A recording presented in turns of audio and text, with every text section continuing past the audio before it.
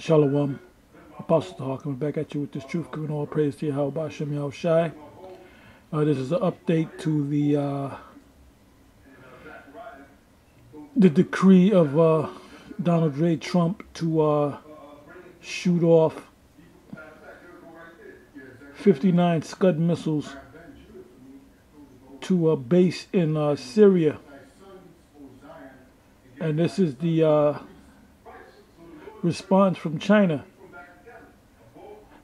And the first article from the Daily Mail seven hours ago China deploys 150,000 troops to North Korea border. Second article FITS News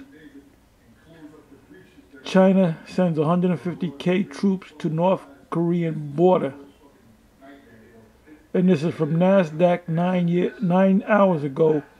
Midday update.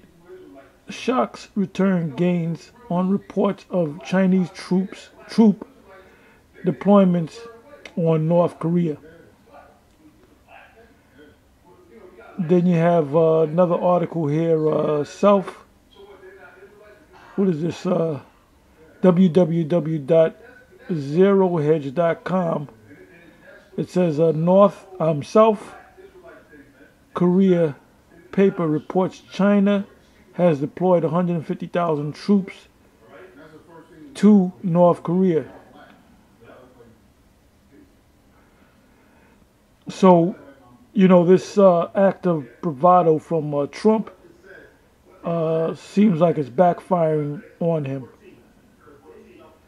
And there's, you know, many scriptures that can come uh, from this. One scripture comes to mind is uh, uh, Joel 3, verse 9. Let the weak say I'm strong. Another one is Isaiah 14, starting from the ninth verse. It, sh- it says, uh, Hell from beneath is moved to meet thee. Matter of fact, I'm going to read it word for word.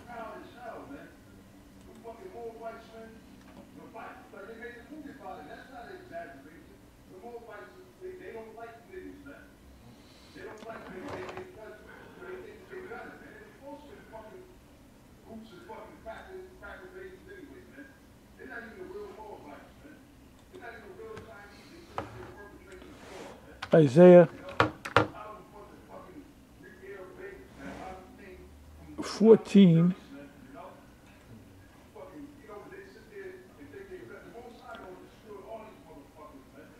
and 9. It says, Hell from beneath is moved for thee to meet thee at thy coming. It stirreth up the dead for thee, even all the chief ones of the earth. So all these different uh, leaders scattered around the planet Earth, they're going to come up against uh, Babylon the Great and have raised up from their thrones all the kings of the earth. All they, 10 verse, all they shall speak and say unto thee, Art thou also become weak as we? Art thou become like unto us? 11 verse, Thy pomp is brought down to the grave, and the noise of thy vials the worm is spread under thee, and the worms cover thee. 12 verse, How art thou fallen from heaven, O Lucifer? And this represents the so called white man. It doesn't represent the spiritual demon Satan. Lucifer means old day star or uh, light bearer, son of the morning. How art thou cut down to the ground, which didst weaken the nations?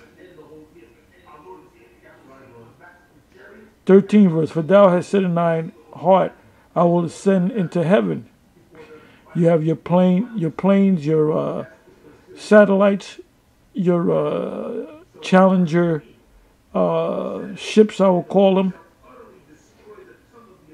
Your like I, I mentioned, your satellites. I will exalt my throne above the stars of the Most High. I will sit also upon the mount of the congregation the mount of the congregation is the government of Israel and the side to the north.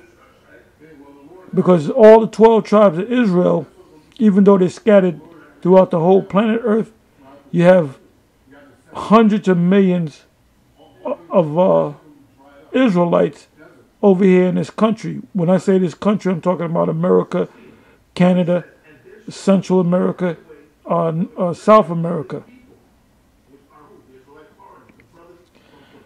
Anyway, with that, I'm going to say um, Shalom.